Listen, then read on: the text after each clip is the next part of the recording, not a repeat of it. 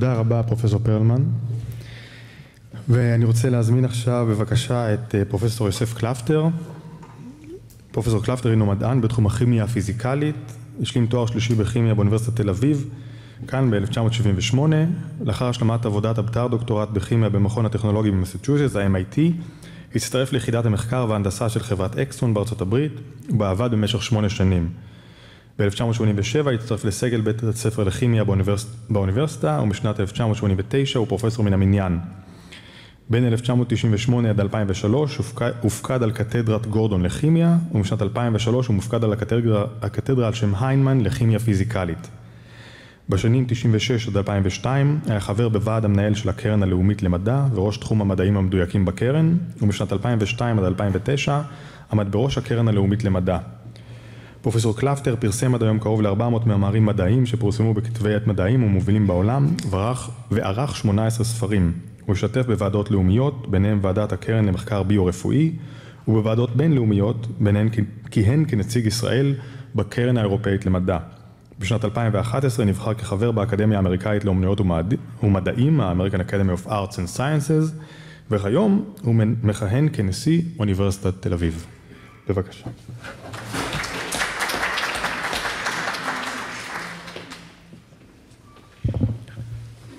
תודה רבה. אחר צהריים טובים לכל הנוכחות והנוכחים וברוכים הבאות ברוכים הבאים וברוכות הבאות צריכים לשמור על זה לאוניברסיטת תל אביב. ואומנם ההכרעה במל"ג נפלה וטוב שכך והיא נפלה ואני סומך את ידיי על הדרך שהיא נפלה ומעניין מאוד שכאן גם אני וגם הרב גפני מסכימים שנינו שמחים על התוצאה של המל"ג. אבל אני מבין שמדובר כאן על דיון שהוא עקרוני ודיון שהוא ערכי ואני אתחיל ואשאל את השאלה מדוע אני נמצא כאן? ובכן אני נשיא האוניברסיטה המארחת וברור שהוזמנתי. אבל למעשה אני רוצה לומר שההזמנה שלי היא בהתעקשותו של הפרופסור דן לאור. הוא התעקש עד כדי כך שאפילו ניסה להזיז את התאריכים כך שיתאימו ללוח המסעות העמוס וכל זה בגלל כותרת בעיתון הארץ. והכותרת בעיתון הארץ אמרה את הדבר הבא בנובמבר 2016 נשיא אוניברסיטת תל אביב נקודתיים לא נאפשר הפרדה מגדרית לחרדים ובאותיות הקטנות נאמר ההפרדה חותרת תחת מהות האקדמיה זה היה בשיח שהיה לי וראיון עם ירדן סקופ שיושבת כאן והכותרת בעמוד הראשון של הארץ כמובן העלתה ביקורת לא קטנה עליי אבל בימים טרופים אלה ביקורות על נשיאים הרי קורות חדשות לבקרים והתרגלנו. אני רוצה רק כדי לשים את הדברים בתור איזשהו פרספקטיבה להקריא לכם את מה שכתבה ירדן על השיח בינינו בנושא הזה. זה היה אגב ראיון רחב מאוד אבל זה הדבר שנשאר ממנו וכך כתבה ירדן ואני עומד מאחורי זה היום וכתוב בסדר. קלפטר זאת אומרת אני רואה בחברה החרדית קבוצה אחת מבין מספר קבוצות שתפקיד האקדמיה למשוך אליה ולשלב. לכולן משקל שווה. החרדים הם רק דוגמה אחת מבין כמה מגזרים שאנו רואים את תפקידנו ואני מדגיש רואים את תפקידנו לעזור להם ברמה הלאומית ולהביא אותם אל מעגלי ההשכלה והעבודה. המדינה מבקשת זאת מן האוניברסיטה ואנחנו חושבים שאנחנו באמת צריכים להשתלב ולשלב בכניסתם. ציבור נוסף הוא הציבור הערבי וגם אנשי ונשות פריפריה חברתית וגיאוגרפית שלא יכולים לעמוד בדרישות הקבלה בקבלות הסף של האוניברסיטה. שמים את החרדים בפרונט כי זה מושך תשומת לב וישנה שם כמובן אותה בעיה שעלתה כאן של ההפרדה המגדרית. אבל אם מורידים את ההפרדה הבעיה היא בדיוק אותה בעיה. איך לוקחים מגזר שהוא כעת בשוליים לגבי האוניברסיטה ועוזרים לו להשתלב? וזה תפקידנו ואני כל הזמן מדגיש זה תפקידנו אנחנו רוצים בשילוב הזה.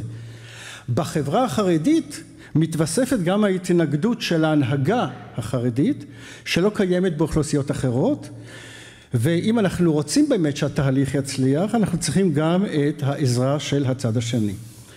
ובכן כעת, מה קורה במגזרים האחרים? המגזר הערבי והפריפריה. ראשית האוניברסיטה, ויושבת כאן דקנית הסטודנטים של האוניברסיטה, פרופסור טוב עמוס, אנחנו עוזרים להם על ידי מנטורינג, אנחנו מובילים אותם, אנחנו מדריכים אותם ואותן, אנחנו מסייעים סיוע כלכלי, כשאפשר אנחנו מסייעים סיוע כלכלי, אנחנו עובדים על מניעת נשירה כל זה האוניברסיטה עושה מתרומות שהיא מגייסת לצורך העניינים האלה במגזרים שמוכנים להשתלב באוניברסיטה. כעת כששמעתי מפרופסור פרלמן על תמיכת ות"ת במגזר החרדי, אני חושב שזה נפלא. אני חושב שהכספים האלה, לכשיגיעו אלינו, נוכל לעשות איתם בדיוק את מה שאנחנו עושים עם המגזרים האחרים, לכשיגיעו, ומיד אני אומר גם מעט מספרים. אז כל הדברים האלה הם דברים שאנחנו מעוניינים בהם ואנחנו מאוד פרואקטיביים אפילו בהם. ולכן זו גם הכוונה שלנו לגבי החרדים. כעת, לא ברגע זה, אבל על פני השנה, התקופה האחרונה, בדקתי, יש באוניברסיטה בין, הייתי אומר, בין שלושים, סליחה, בין שלושים וחמישה לארבעים סטודנטים וסטודנטים חרדים וחרדיות, ואני רוצה לומר לכם שכל פעם שמצטרף סטודנט חרדי או סטודנטית חרדית, בוועדה שהדקנים יושבים, וטובה נמצאת שם, הדקן גאה, הצטרפו, הצטרף עוד אחד או עוד שניים. הרצון ממש ישנו. הרצון ממש ישנו. אבל היכן הבעיה אם כך? הבעיה היא שראשית מגיעה לכאן, או אנחנו רוצים שתגיע לכאן אוכלוסייה שאין לה ברובה את לימודי הליבה, זאת אומרת הרקע חסר וזה רקע שצריכים להשלים אותו. אחרי כן ישנה כאן אם כך ההתנגדות הממסדית, החשש מהחילון. ואני בימים אלה שאני מטפל בחשש מחופש ביטוי אז חשש מחילון נראה לי מה שנקרא האנלוג שלו. וכמובן כל הנושא של ההפרדה או ההדרה. וכשאנחנו רואים את ה הציבור החרדי או הסטודנטים בפוטנציה החרדים ואנחנו רואים את שלוש הבעיות האלה שצריכים להתגבר עליהם אז אני שאלתי את עצמי כשישבתי על הדברים אתמול בערב האם הטלת כל החבילה הזאת על האוניברסיטה אולי גדולה מדי אולי אפילו אינה במקום? אולי יש להתחיל באמת בשלבים אחרים? אולי צריכים להסתכל קודם על הליבה ולהיכנס באיזשהו דין, דיון עם, ה, עם הממסד ואולי פשוט בחרו בפתרון הקל לא יכולנו לתקן את הליבה, הממסד מקשה עלינו, בואו נשלח אותם לאוניברסיטה ובואו נראה מה האוניברסיטה עושה. ולמעשה זה שיקול שהוא פוליטי וקואליציוני למעשה במקום שהגענו אליו. למעשה אולי, וכאן אני רק מעלה השערות וקצת ניסיון שיש לי ובסוף אני אוכל לספר עליו, אולי אפשר למצוא מסגרות יצירתיות של שיח בין הממסד החרדי לבין העולם האוניברסיטאי, אולי אפשר למצוא איזשהו שיח, זה לא ייקח שנה, זה לא ייקח שנתיים, זה לא יביא מעט, מיד, מיד מאות או אלפים, אבל זה יכול איכשהו ליצור איזושהי כניסה של חרדים וחרדיות, ואז כמו שהרקע שלי הוא במתמטיקה פיזיקה, אולי הגידול לא יהיה ליניארי, זאת אומרת יכול להיות קפיצה אחרי כן. עכשיו מדברים על המילה השתלבות. ובכן השתלבות באוניברסיטה, מה זה השתלבות באוניברסיטה? השתלבות באוניברסיטה משמעותה השתלבות במוסד על ערכיו ועל הנהלים שלו והדרך שבו הוא מתנהל. ולא אוניברסיטה על פני ההגדרה שרוצים להגדיר אותנו מחדש שהיא חוטאת, וכאן ממש חוטאת, לבסיס שעליו מושתתת כל ההשכלה הגבוהה, פעם היו קוראים לזה השכלה גבוהה מערבית, אבל למעשה היום גם בסין והודו זה אותו דבר, זה גלובלי, זאת ההשכלה הגבוהה. עכשיו מה התפקיד של האוניברסיטה, וזה הוזכר גם על ידי תומר, תפקיד האוניברסיטה הוא קודם כל יצירת ידע וכמובן גם הנחלת הידע או הפצת הידע ואלה באמת הדברים שאנחנו דבקים בהם. עכשיו יצירת ידע היא לא רק בואו נלמד איזשהו פרק במקצוע א' או מקצוע ב' יצירת ידע מבוססת על מחקר. היא מבוססת על שאלת העלאת שאלות העלאת סוגיות. אין דבר שהוא מובן מאליו. כך מתפתח כל העולם סביבנו וכך אנחנו מתפתחים אחרת זה לא התפתחות הסטודנטיות והסטודנטים שלנו לומדים את המסלול, כל אחד את המסלול שלו או שלה, אבל הם מאושרים מכל השיח שקורה מסביב. והשיח הזה חייב, וכאן אני מדגיש, חייב להיות שוויוני. אין הדרה, כולם שווים. לא, לא, לא, לא, לא אה, אה, הדרה לא על בסיס גזעי ולא על בסיס מגדרי וכמובן לא על בסיס של מעמד. ואלה למעשה הם החיים האוניברסיטאיים. בלי זה אוניברסיטה היא לא אוניברסיטה לשאלתך. כעת, בניגוד לבית ספר מקצועי, חשבתי על זה אתמול ואתה העלית את הנקודה, האוניברסיטה מעניקה לא מקצוע, לפעמים כן, היא מעניקה תיבת כלים, והכלים האלה כוללים אפשרות לביקורת, אי חשש של ללמוד תחום חדש, חשיבה והחלפת דעות, חשיבה יצירתית והעיקר פתיחות והקשבה. אני חושב שזוהי אוניברסיטה כמו שאנחנו רואים אותה ורוצים אותה. ובזה למעשה נמדד מוסד אקדמי הנקרא אוניברסיטה. עכשיו אנחנו דווקא מעוניינים בגיוון, הגיוון הזה הוא מאוד מפרה, אנחנו רוצים את הכיוון, אנחנו רוצים את ההפריה ההדדית הזאת. אה, אה, ציבור אה, חרדי שיגיע לכאן ותהיה אינטראקציה, זה יהיה נפלא הרי, אבל הוא צריך קודם כל להגיע ולהשתלב במה שאנחנו רואים באמת כעולם של השכלה גבוהה. ועדיין לא דנו בהדרת נשים מרצות, הרי גם זאת בעיה. ציבור שלם לא ישמע מרצות, זה נראה לכם אולי פשוט, אבל המרצים והמרצות הם לא רובוטים, כל אחד ואחת מביאים למה שהם מלמדים או מלמדות, את השקפת העולם שלהם, את הדרך הראייה שלהם, ואני לא חושב שאפשר באיזושהי דרך לוותר על התרומה הנשית שמביאה את האספקטים שלה כשמדובר על הרצאות. כל הדברים האלה הם דברים שאיכשהו מונעים את, ה, את ה, את השילוב כרגע. עכשיו רציתי רק דבר שהסתכלתי על אה, החלטת המל"ג אה, עידו וכאן יש דבר שהוא אה, הייתי אומר אפילו קצת קצת מצחיק. צריך גם מצב רוח טוב.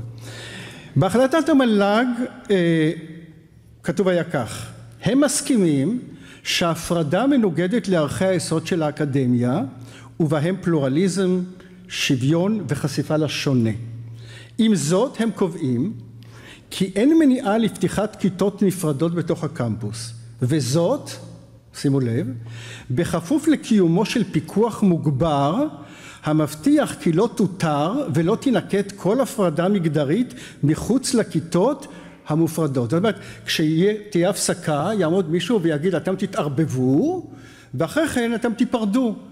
הפיקוח המוגבר הזה מפחיד אותי כי אנחנו גם עכשיו מדברים על פיקוחים מוגברים על מה נאמר ומה לא נאמר אז בואו נשים את, הפיק... את, ה... את הפיקוחים האלה בצד. ואני רוצה לסיים בניסיוני כאן באוניברסיטה בכל מיני אפשרויות לשלב חרדים דבר שעל פני שמונה השנים שלי כנשיא אנחנו מנסים לעשות מנסים לעשות ורוצים שזה יקרה ובכן יושב כאן פנחס אלפר פרופסור פנחס אלפר אפילו אתה היית השדכן ביני ובין איזושהי רבנות נכון? לא כל כך צלח. אחרי כן היה איזשהו דין עם איזשהו רב שלא אזכיר את שמו צריכים לשמור גם על פרטיות כאן בנושאים האלה שרצה להביא לכאן וחשבתי שהרעיון היה מדהים סיפרתי את זה כשישבנו קודם בקבוצה קטנה. רצה להביא לכאן רבנים צעירים כדי שאיכשהו ייחשפו למה שקורה במאה העשרים ואחת באוניברסיטה ולהכין להם תוכנית. והכנו תוכנית שהיא לא תואר היא רק העשרה. אני חושבת שזה נפלא. אני כמו סיפרתי קראתי לתוכנית הזאת אצלי ב, ב, כשאני רושם את הדברים כתבתי התוכנית עשה לך רעב אבל לא הצליחו לאסוף מספר מספיק של רבנים צעירים שהיו מוכנים להיחשף לעולם הזה. והדבר האחרון שהצליח אבל לא לגמרי הייתה יוזמה של שני חוקרים בפיזיקה וכימיה שהגיעו אליי והציעו אולי ניצור שיח בין רבנים לבין חוקרים תהיה פגישה שבועית של רבנים שיבואו ויספרו על איזושהי סוגיה וחוקר ייתן איזשהו פרק מחקרי באותו ערב ואחרי כן ייפרדו לקבוצות בשולחנות עגולים. היה נפלא, באו וביקשו את תמיכתי ואני אמרתי נראה לי נפלא רק בתנאי אחד שיהיו שם חוקרים ותהיינה שם חוקרות והדבר פרח ובראש התוכנית עמדה מי שעומדת בראש הננו-טכנולוגיה בתל אביב ועל פני שנתיים כל יום שני רבנים מכובדים מאוד היו מגיעים לאוניברסיטה באמת היה מין כזה תמונה לא אוניברסיטאית כן הרבנים הגיעו וישבו בחדר היה דף שלהם והיה דף שלהן או שלהם מהצד של החוקרים ונוצר שיח והיו ביקורים בחגים חול המועד סוכות, חול המועד פסח, היה נפלא. השנה הרב שניהל את זה קיבל על עצמו ניהול ישיבה ואיכשהו נקטע. אבל אם זה אפשרי, כן זה אפשרי, צריכים צריכים מחשבות יצירתיות מהסוג הזה ואני חושב שזה לא יקרה מהר אבל ודאי יכול לקרות. אז תודה רבה.